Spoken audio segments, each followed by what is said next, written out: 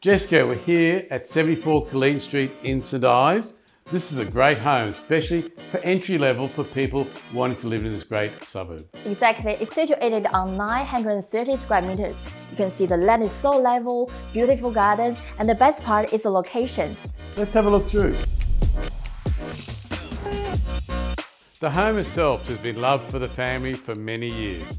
Now this allows for you to come in and put your own taste and renovate to the way you like.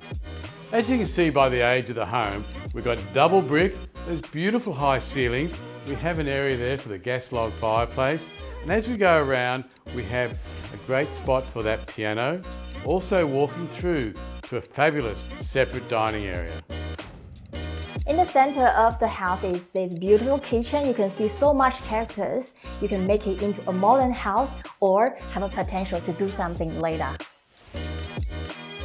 The property itself has a great double garage with access directly under the house.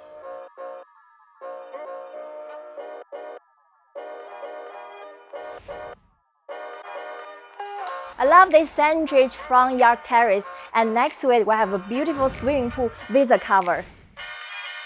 What a lot of people say to me when they're looking at a home with a pool is how much maintenance and how all the leaves get in the pool. This one is covered, so it's maintenance free. The property is centrally located with only a stroll to that magnificent St Ives shopping centre. Also, we have the Pymble Golf Club just a stone's throw away. And if you're thinking of taking kids to the school, St Ives North Public School, it's in the zone. What a beautiful family home. The location's superb with that only walk to the shopping centre. And if you're looking for a home at the entry level to make it your own, this is a property you should come and have a look at. We're looking forward to see you in our open home.